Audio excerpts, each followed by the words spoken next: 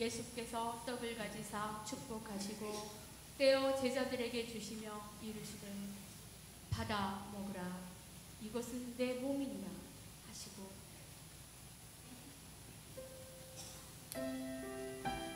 또 잔을 가지사 감사기도 하시고 너희가 다 이것을 마시라. 이것은 죄 사함을 얻게 하려고 많은 사람을 위하여 흘린 나의 피